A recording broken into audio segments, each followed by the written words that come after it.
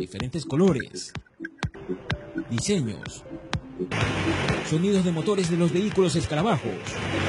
Encontramos en el sector de Urdesa un grupo de amigos que se reúnen para exhibir sus carros clásicos. Se trata del Club de los Big Clan, conformado hace nueve años. Ellos nos cuentan qué hacen para conservar estos autos.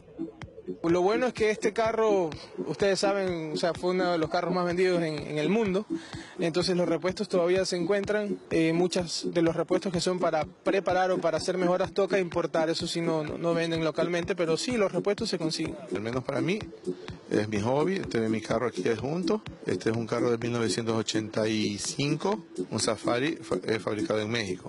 Los repuestos son muy económicos con relación a las otras marcas.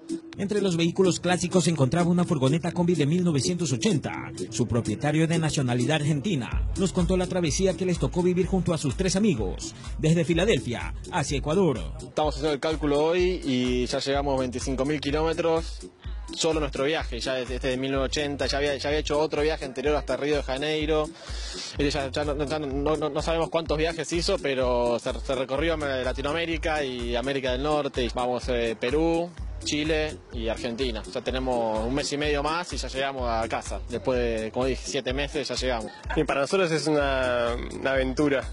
Eh, estamos recorriendo el continente entero, cuatro amigos, y como es gran parte del viaje, y la otra gran parte de las aventuras es las historias con la gente. Nos hemos pasado por lugares que, son alucinantes. Hay vehículos que han sido mejorados y modificados.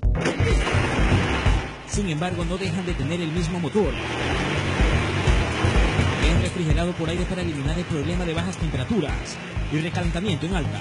Se idearon este tipo de motor este, ¿cómo es? Enfriado por, por aire, con una turbina que tiene, Y, eso es lo que le da vida al, motor. No, necesita un radiador. No necesita un radiador de agua, ellos lo que necesitan sí es un radiador de, aceite. De pronto las personas se quedan asombradas cuando van a la gasolinera y no le encuentran la máquina en la parte de adelante. eh, bueno, anécdotas como esa sí hay. Este, abre el capó y dice, oye, se le han robado el motor de estos carros, dice, ¿no?